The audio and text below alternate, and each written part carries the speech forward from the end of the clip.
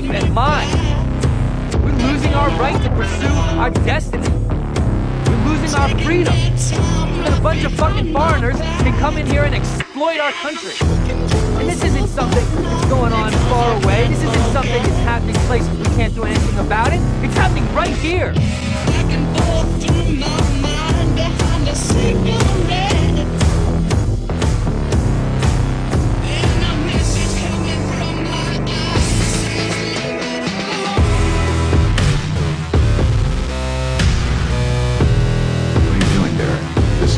Right, my family. See this? That means not welcome. Nigga, you just fucked with the wrong bull. Put it on the ground right now! That's it.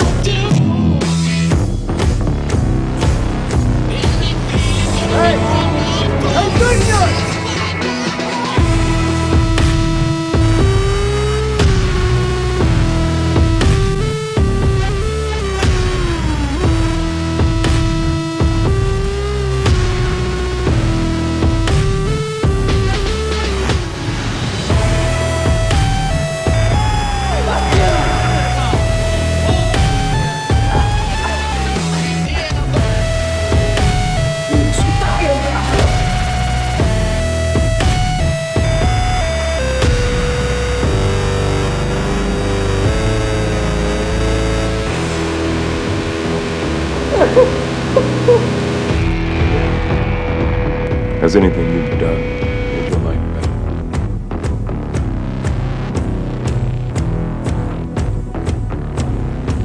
I'm going to Wichita, far from this opera forevermore. I'm gonna work the soul, make the sweat drip out of every pore. Just help. Only reason I'm getting out of here in one piece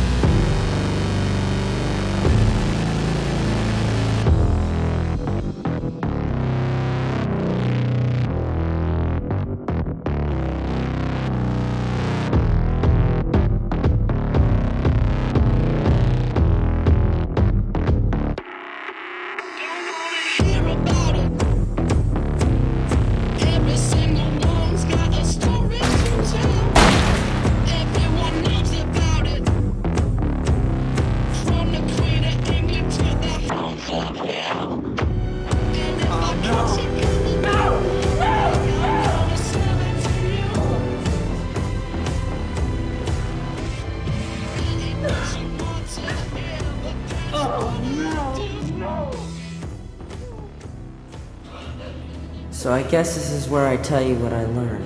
My conclusion, right? Well, my conclusion is hate is baggage. Life's too short to be pissed off all the time. It's just not worth it. Derek says it's always good to end a paper with a quote. He says someone else has already said it best, so if you can't top it, steal from them and go out strong. So I picked a guy I thought you'd like. We are not enemies, but friends. You must not be enemies. Though passion may have strained, it must not break our bonds of affection. the mystic chords of memory will swell when again touched, as surely they will be by the better angels of our nature.